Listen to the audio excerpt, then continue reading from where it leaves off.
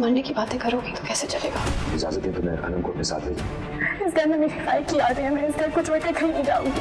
है ना? ये बैठे। मैं तुम्हें कहीं नहीं जाने दूँगी। मैं तुम्हें बहू नहीं बेटी बना के लाई थी।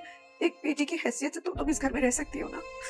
मुझे तायबू के पास ले जाओ मैं माफ़ी मांगना चाहती हूँ। तो ड्रामा सीरियल बेटी है काफ़ी ज़्यादा इंटरेस्टिंग होता जा रहा है। इसमें काफ़ी ज़्यादा ट्विस्ट आ रहा है। जैसे कि हमने पिछले एपिसोड में देखा कि फाइक जो अलम का हस्बैंड है वो उसके मामला तो बिल्कुल सेट हो चुके हैं। उसके घर में काफ़ी ज़्यादा अमन सुकून आ चुका था लेकिन फाइक जो है वो अनम के लिए और अपने घर वालों के लिए कुछ चीज़ लेने बाहर जाता है, लेकिन एक गाड़ी उसे टक्कर मार देती है, जिसकी वजह से उसको काफ़ी ज़्यादा चोट आती है और वो इस दुनिया से चल बसता है। आज की एपिसोड में हमें देखने को मिलेगा कि अनम जो है वो फाइक के घर ही रहना पसंद करेगी, क्योंकि वो कहेगी कि फाइक के साथ मेरी काफ़ी ज़्यादा यादें जुड़ी हैं यहाँ पे।